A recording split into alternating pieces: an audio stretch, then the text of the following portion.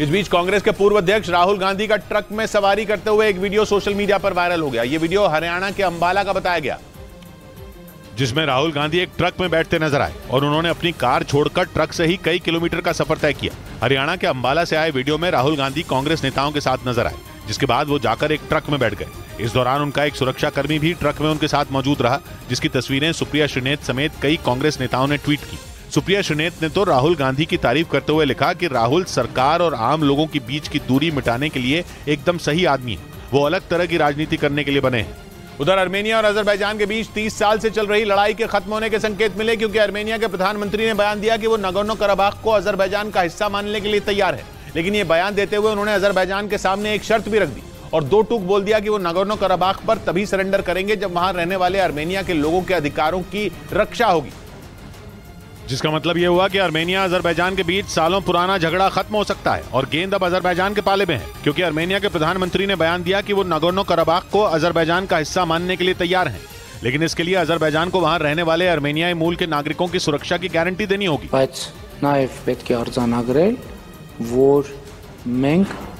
ասում ենք, որ Լեռնային Ղարաբաղի հայության իրավունքների եւ Armenia और Azerbaijan के बीच ताजा तनाव तब पैदा हुआ जब अजरबैजान ने ऐलान किया कि उसने लाचिन कॉरिडोर पर चेक पॉइंट बना दिया है लाचिन कॉरिडोर नगोनो कराबाख को अर्मेनिया से लिंक करने वाला इकलौता रास्ता है इधर आईपीएल 2023 की प्लेऑफ की रेस से रॉयल चैलेंजर्स बैंगलोर के बाहर होने के बाद विराट कोहली भावुक हो गए उन्होंने अपनी टीम के साथ तस्वीरें पोस्ट करते हुए साथी खिलाड़ियों और आरसीबी के प्रशंसकों का शुक्रिया अदा किया साथ ही आरसीबी के प्रशंसकों से यह वादा भी किया कि अगले साल टीम इससे कई गुना बेहतर तरीके से खेलेगी और आईपीएल का कप भी जीतेगी। कोहली ने अपने इस ट्वीट के ज़रिए टूर्नामेंट को अच्छी तरह से खत्म न कर पाने का अफसोस भी जताया। और टीम के खिलाड़ियों समेत टीम के कोच और दुनिया भर में मौजूद आरसीबी के प्रशंसकों का शुक्रिया अदा किया। असल में दो दिन पहले गुजरात टाइटन से हुए मुकाबले में मिली हार की वजह से रॉयल चैलेंजर्स बैंगलोर प्लेऑफ्स की रेस से बाहर हो गई। हालाँकि विराट कोहली के लिए आईपीएल 2023 काफ़ी अच्छा रहा। इस टूर्नामेंट में उन्होंने दो शतक भी जड़े। इस बीच भारत को टोक्यो ओलंपिक्स में गोल्ड मेडल दिलाने वाले नीरज चोपड़ा ने भाला फेंकने की वर्ल्ड रैंकिंग में नंबर वन पोजीशन हासिल कर ली। ये पहली बार है जब इस लिस्ट में कोई भारतीय पहले नंबर पर पहुँचा है। और इस लिस्ट में 1455 अंक पाते ही नीरज चोपड़ा जैवलिन थ्रो यानी भाला फेंक में दुनिया के सर्वश्रेष्ठ खिलाड़ी बन गए। उनके बाद दूसरे नंबर पर करीबियाई देश ग्रेनेडा के एंडरसन पीटर्स हैं जिनके 1433 पॉइंट हैं। नीरज चोपड़ा को ये मुकाम खतर में हुई दो हार डायमंड लीग जीतने के बाद मिला। जहाँ उन्होंने अड़सठ मीटर तक भाला फेंक कर इस लीग को अपने नाम कर लिया था जिसके बाद वर्ल्ड रैंकिंग में नीरज चोपड़ा दूसरे स्थान ऐसी पहले स्थान आरोप आ गए। उधर उत्तरी अमेरिका के मेक्सिको में फटे ज्वालामुखी ने पूरे शहर को राख की चादर से ढक दिया।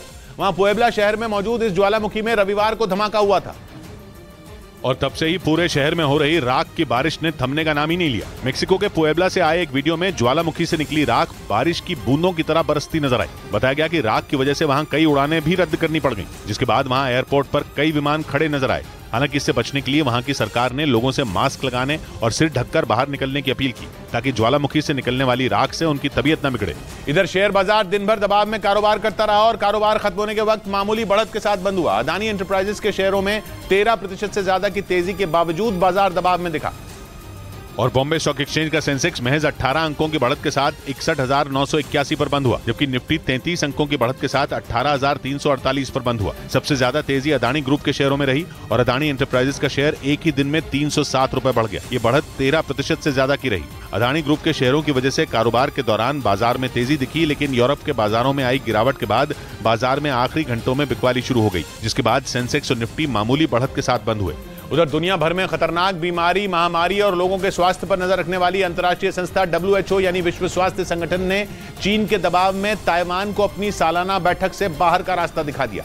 स्विट्जरलैंड की जिनीवा में 21 मई से शुरू हुई यह बैठक 30 मई तक चलेगी, जिसमें ताइवान शामिल नहीं होगा। इसके पीछे चीन और पाकिस्तान बड़ी वजह है। असल में चीन की तरफ़ से यह दबाव बनाया गया कि ताइवान कोई अलग देश नहीं, बल्कि चीन का ही हिस्सा है। इसीलिए उसे किसी अलग देश की तरह डब्ल्यू की सालाना बैठक में शामिल होने के लिए न्योता न भेजा जाए। यही नहीं चीन ने इस संगठन में शामिल देशों से भी अपील की कि वो उसका समर्थन करे और ताइवान को इस सम्मेलन से दूर रखें। पश्चिमी मीडिया का दावा है कि चीन और पाकिस्तान के दबाव की वजह से डब्ल्यू ने स्विट्जरलैंड की जिनीवा में होने वाली सालाना बैठक में ताइवान को निमंत्रण नहीं देने का फैसला लिया। इस बीच पश्चिमी मीडिया का दावा है कि अमेरिका चीन के दोस्तों को अपना एफ़ थर्टी फाइव लड़ाकू विमान नहीं भेजेगा बेचेगा। इसके बदले अमेरिका उन देशों को एफ़ सिक्सटीन या एफ़ फिफ्टीन फाइटर जेट देने के लिए तैयार है। क्योंकि अमेरिका का मानना है कि दक्षिण पूर्व एशियाई देशों के पास F thirty five fighter jet उड़ाने की क्षमता नहीं है। हालाँकि पश्चिमी मीडिया का यह दावा है कि अमेरिका ने इस क्षेत्र में मौजूद चीन के दोस्तों के लिए ही ये नीति बनाई है, जिसके तहत वो थाईलैंड समेत दक्षिण पूर्व एशियाई देशों को अपना ये घातक लड़ाकू विमान नहीं बेचेगा। इसके बदले अमेरिका ने थाईलैंड को एफ़ सिक्सटीन या एफ़ फिफ्टीन फाइटर जेट बेचने का प्रस्ताव दिया है। यानी अमेरिका किसी भी सूरत में ये नहीं चाहता कि उसका एफ़ थर्टी फाइव लड़ाकू विमान चीन के दोस्तों के पास पहुँच जाए। क्योंकि अगर ऐसा हुआ तो इस खतरनाक विमान से जुड़ी अहम जानकारियाँ भी उसके दुश्मन चीन तक पहुँच जाएँगी। अमेरिका का एफ़ थर्टी फाइव लड़ाकू विमान स्टेल्थ तकनीक से लैस है। यानी ये किसी भी रडार को चकमा देने में माहिर है। उधर यूरेशियन टाइम्स नाम की वेबसाइट ने दावा किया कि रूस यूक्रेन को पश्चिमी देशों से मिले घातक और महँगी मिसाइलों को खत्म करने के लिए लकड़ी के ड्रोन का इस्तेमाल कर रहा है। मतलब रूसी सेना लकड़ी के ड्रोन से यूक्रेन की फौज को चकमा दे रही है और उसकी मिसाइलों को बर्बाद करने में जुटी है। हालाँकि रूस के पास जेलेंस्की की सेना पर कहर बरपाने के लिए ईरान का आत्मघाती ड्रोन शाहिद 136 भी मौजूद है।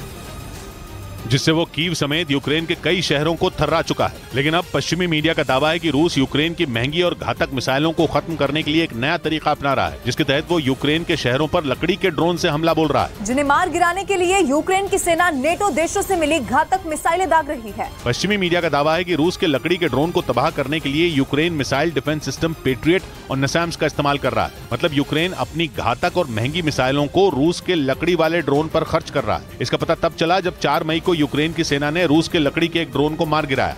इधर मुंबई में बम धमाके की धमकी देने वाले को पुलिस ने गिरफ़्तार कर लिया। आरोपी ने ट्वीट करके मुंबई को बम से उड़ाने की धमकी दी थी।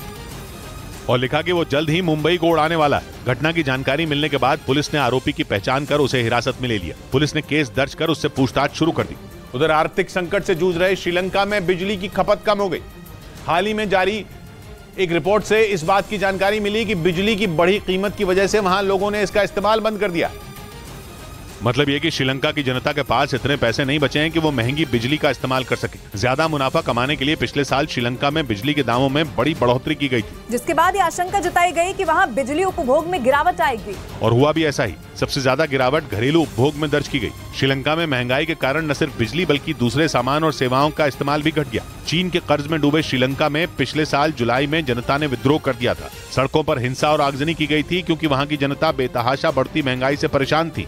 इस बीच सरकार ने एक जून से कप सिरप के निर्यात के लिए कड़े नियम लागू कर दिए, जिसके तहत सरकारी लैब में जाँच के बाद ही कप सिरप को विदेश भेजा जाएगा। मतलब पिछले दिनों भारतीय कप सिरप पर उठे सवालों के बाद केंद्र सरकार ने बड़ा कदम उठाया। इसे लेकर सरकार ने एक अधिसूचना जारी की, जिसके मुताबिक विदेश भेजे जाने से पहले कप सिरप की सरकारी लैब में जाँच होगी और जाँच में सुरक्षित पाए जाने के बाद ही कप सिरप को निर्यात की मंजूरी दी जाएगी।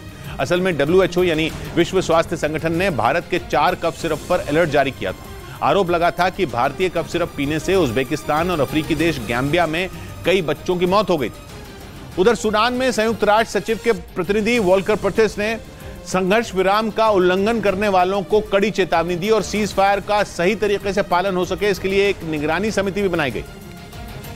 क्योंकि सूडान की सेना और वहाँ का पैरामिलिट्री ग्रुप आरएसएफ पहले भी कई बार सीज फायर का उल्लंघन कर चुके हैं। इस बार ऐसा ना हो। इसके लिए निगरानी समिति में सूडान की सेना और आरएसएफ के साथ साथ सऊदी अरब और अमेरिका के प्रतिनिधियों को भी शामिल किया गया और दोनों के बीच सोमवार की रात से एक हफ़्ते का संघर्ष विराम शुरू हो गया। Both parties had committed not to seek military advantage. यानी इस बार दोनों के बीच सीज फायर रोकने की पूरी ज़िम्मेदारी निगरानी समिति की है। इस बीच अमेरिका की जिस महिला पत्रकार एलिजाबेथ कैरल के आरोप पर हाल ही में पूर्व राष्ट्रपति डोनाल्ड ट्रंप पर भारी भरकम जुर्माना लगा था, उसी ने एक बार फिर ट्रंप को कोर्ट में घसीट दिया। एलिजाबेथ कैरल ने एक, ने अब ट्रंप पर उन्हें बदनाम करने का आरोप लगाया और नए हर जाने की मांग कर दी। और इस बार उसने कोर्ट से हरजाने के तौर पर दुगनी रकम की अपील की। अमेरिकी पत्रकार एलिजाबेथ कैरल के मुताबिक डोनाल्ड ट्रंप की वजह से उनकी बदनामी हुई और उन्हें अपनी नौकरी से हाथ धोना पड़ा। इसी वजह से उन्होंने अमेरिका की एक अदालत में शिकायत दर्ज कराई और ट्रंप से 10 मिलियन अमेरिकी डॉलर यानी भारतीय रुपयों में करीब बयासी करोड़ की मांग की। इससे पहले एलिजाबेथ कैरल के ही आरोपों पर न्यूयॉर्क कोर्ट ने ट्रंप को यौन शोषण मामले में दोषी करार दिया था और उन्हें इकतालीस करोड़ रूपए जुर्माना भरने का आदेश दिया था।